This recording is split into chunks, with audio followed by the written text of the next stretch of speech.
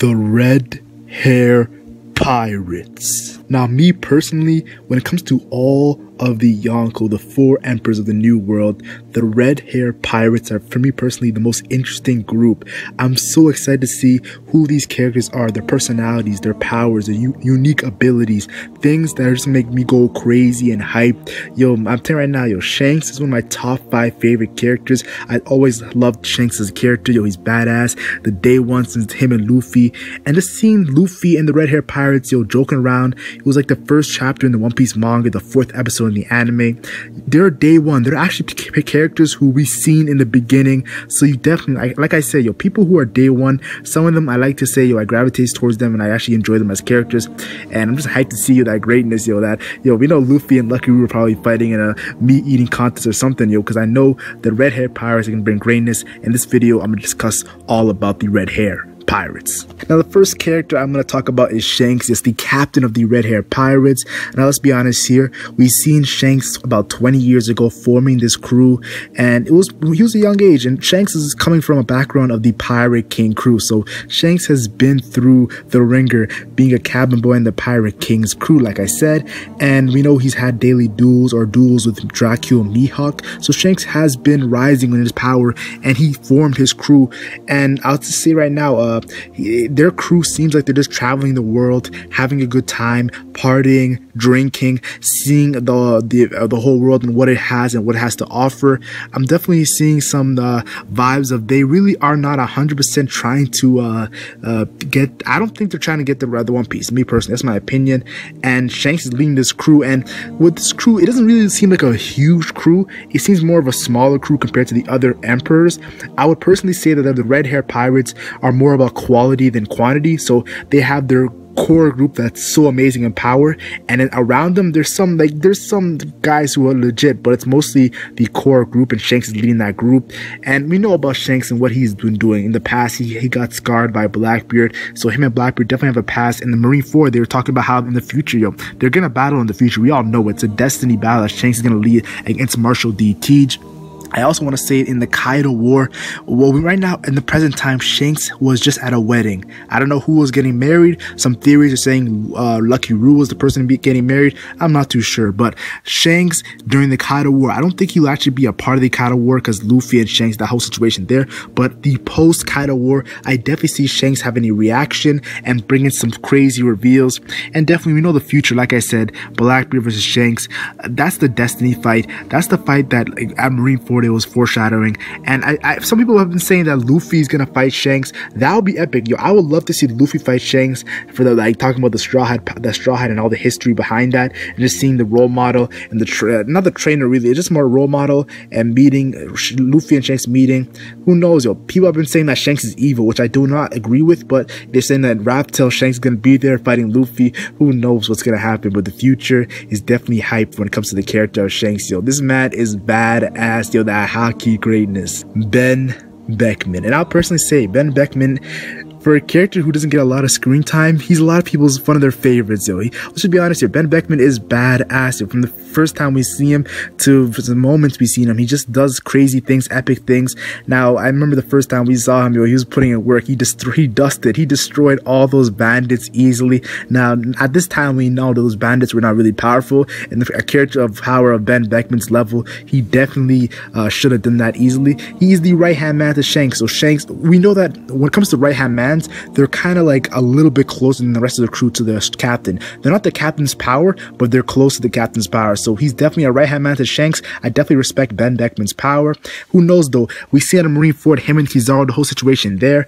I've been saying, yo, in the past of Ben Beckman, yo, he might have went in a battle against Kizaru. I'm not too sure if it's happened or not, but the fact that the way they were talking Marine Marineford seems like they're cordial, like they went, they battled before in the past. Who knows if it happened, but I definitely feel like Ben Beckman and Kizaru have some sort of past that's going to be revealed and if it does get revealed, it's going to be pure hype. Now we know like I said, he's the right hand man to the Yonko Shanks, and I personally feel like yo, the right hands to the Yonko are kind of like on the ad, close to the Admiral level, or even some of them Admiral level. So I, am gonna make a whole video on Ben Beckman's power when we see more of his abilities. So that's gonna be a long, maybe a couple years before we actually see Ben Beckman actually fight. But I definitely have a theory, a prediction, a speculation that I think Ben Beckman might train Sanji. The reason why I say this is because he shares some qualities of Sanji. We know Sanji is one of the smartest characters on the Straw Hat Pirates and Ben Beckman was said to be the strongest, I mean the smartest in East Blue.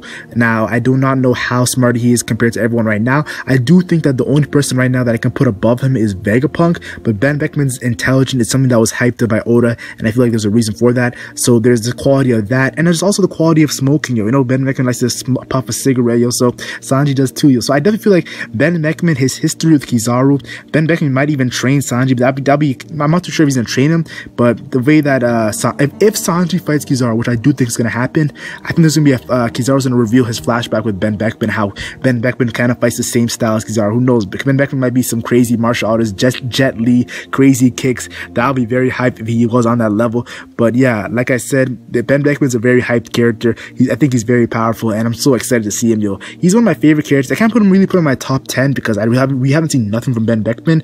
But I can say that when we see his power and his more of his character in action, he's definitely be probably one of my favorite characters. Yasopp, yes, the character known as Yasopp. Let's get it. But I'm gonna be honest here, he's the father of Usopp, and it's funny because usually fathers who leave their sons at a young age in real life are seemed as deadbeats. Very like just it's very terrible to do that to your son, your child, to leave them at a young age. But with Yasopp, it's kind of different because Usopp said he like he actually is happy that his father left. Like, he followed his dreams, and even uh, Yasopp's wife, Usopp's mother, was kind of like, okay, do it. You're like so they didn't really seem that salty though I do think the fact that he was absent really played a huge measure in Usopp's life.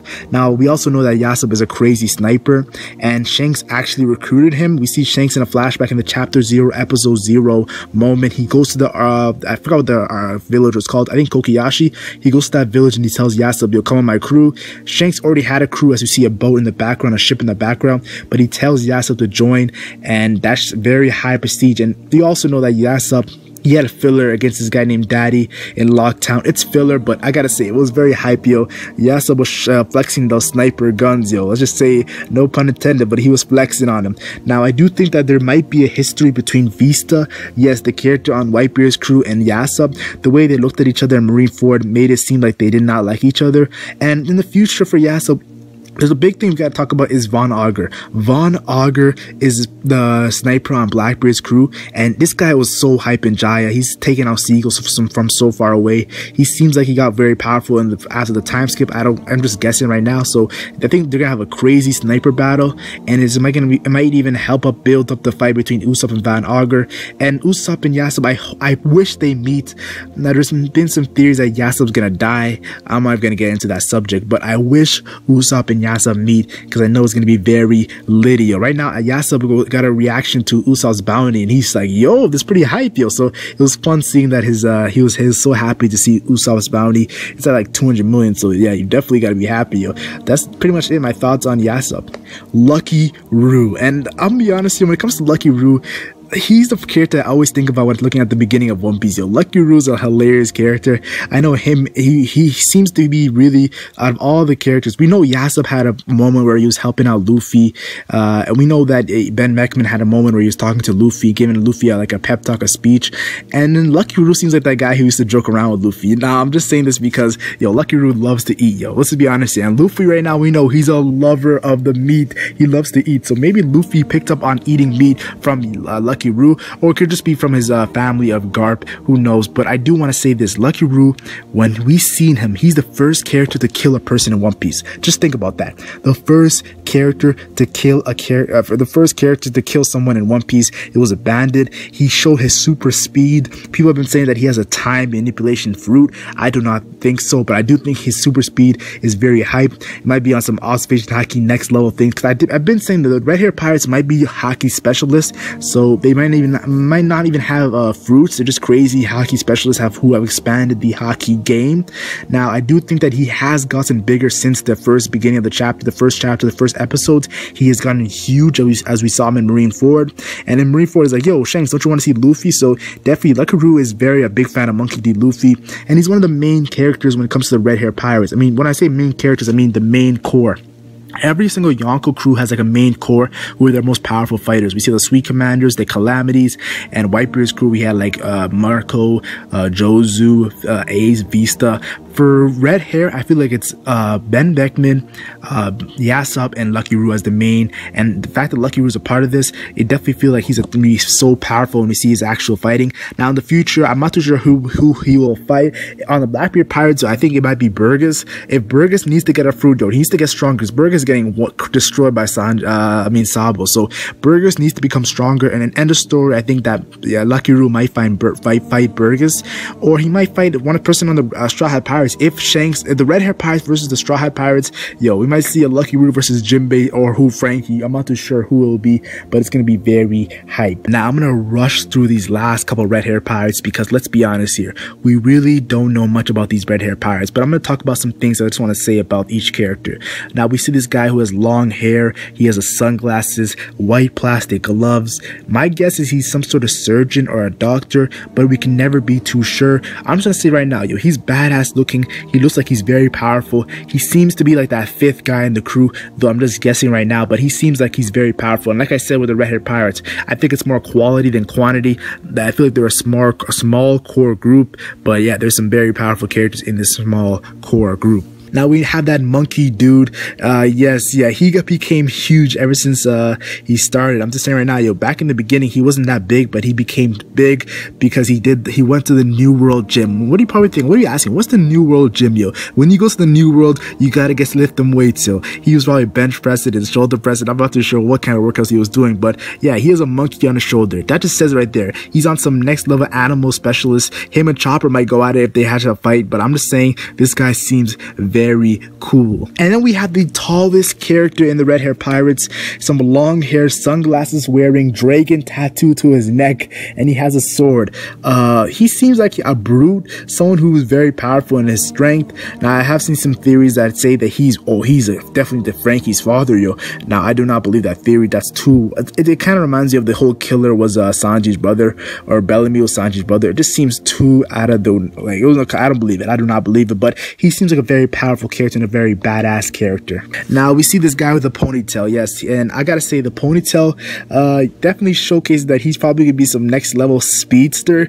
I'm just assuming right now, I'm just speculating, but he has a sword that he's carrying, so it definitely seems like he has some great armament haki, and I feel like he's gonna be a speedster. I, I hope he has a fruit, but like I said, yo, I'm not too sure if the red hair pirates even have fruits, yo. We know Shanks was so angry when Luffy almost ate that fruit, so I'm not too sure what his power is, but he seems like a speedster. He's very small in stature. Now we have this guy who's I'm not gonna lie, out of all the Red Hair Pirates, see he seemingly looks like the guy who doesn't get a lot of shine, but he's in like that really far end. He's he's the guy shown that has very pointy teeth.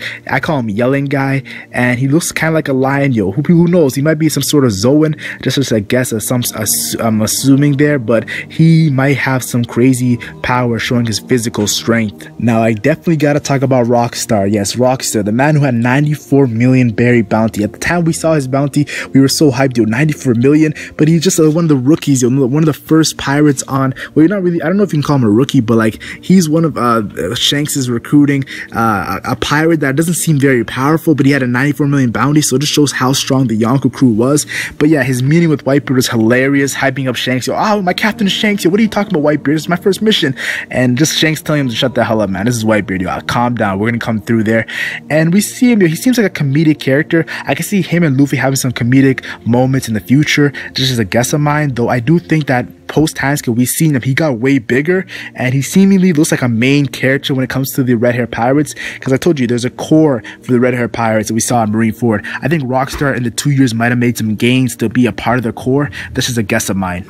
And the final character I have to talk about is Dracula Mihawk. You guys thought I wouldn't talk about him, right? You guys thought I wouldn't talk about Dracula Mihawk. I think he might be a secret member of the Red Hair Pirates. Just a guess of mine. The reason why I say this is because I don't think he's actual member member of the Red Hair Pirates, but in the final war, somebody has to fight Shiryu of the Rain. On Blackbeard Pirates, I said it's foreshadowed the war of Red Hair versus Blackbeard, and I think that this guy, Rujaku Mihawk, is gonna fight Shiryu of the Rain, and he's gonna help out Shanks because of their relationship as their daily duels, and he might be that secret right other right hand man that Shanks has. I said that Ben Beckman kind of seems like Sanji to me, so what if Mihawk is like the Zoro to Shanks?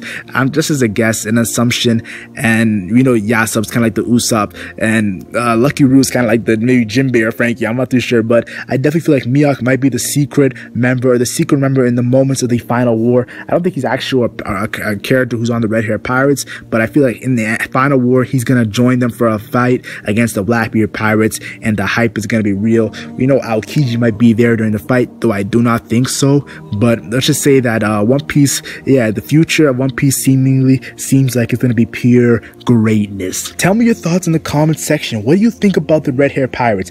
Me personally, I feel like they're one of the craziest crews in the One Piece world, and they're going to have some crazy haki abilities. They might have some fruits, but my guess is more leaning towards haki and just the powers. Like it's it's a Yonko crew, it's an Emperor crew. Every single Yonko crew seemingly seems hype. We see with Big Mom, Kaido, Blackbeard, uh, Whitebeard, Shanks definitely has a hype crew. And like I said, you know, quality over quantity. Tell me your thoughts in the comment section. Like and share if you enjoyed. Like and share only if you enjoyed. And subscribe for more One Piece content. I'm the Legend Mac, and I'm gone.